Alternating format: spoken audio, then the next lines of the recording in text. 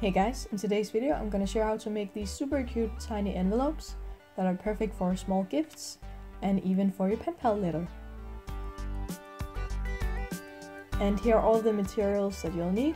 You'll need some paper, a pen, as well as some double-sided tape, and a score bone. You don't have to use it, but I like to use it.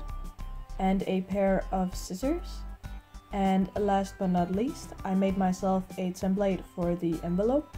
I will have a link down below for a similar template that you can use. So the first step is to pick your piece of paper for your envelope. I'm gonna have a link for these patterns down below.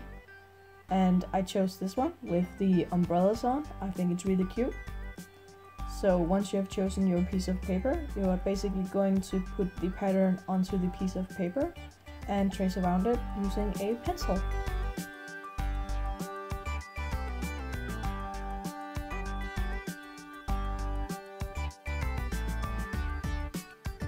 And after you've done that, you can basically grab your scissors and cut it out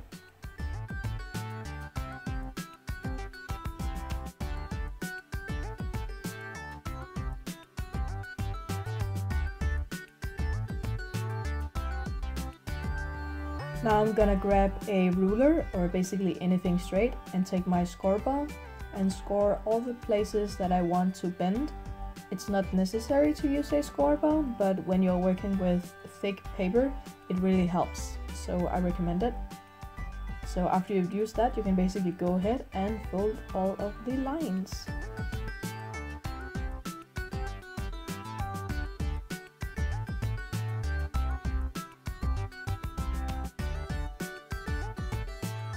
Now it's time for the double-sided tape and I'm gonna start on the bottom because that's what is going to connect both of the sides.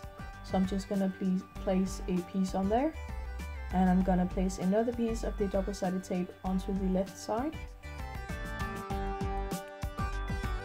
And now you can stick the last side down and the envelope is done. So you can put whatever you would like inside of the envelope.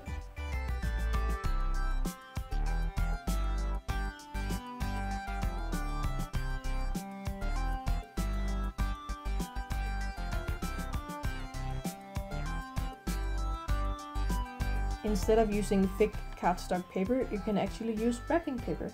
And the great thing about wrapping paper is that it's super inexpensive and you probably already have something laying around.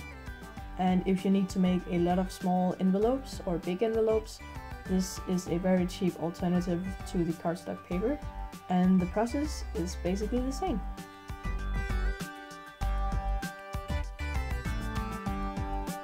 So now you're done with your super cute and tiny envelopes, but what do you actually use them for?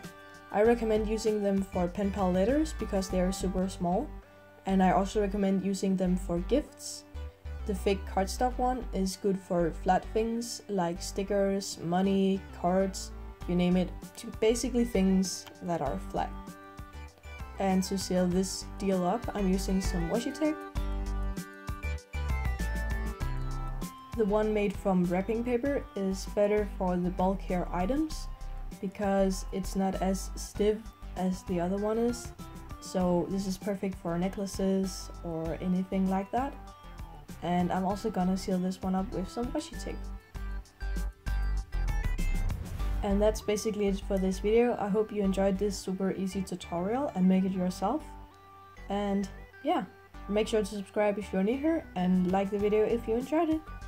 And until next time, remember to keep crafting. Bye!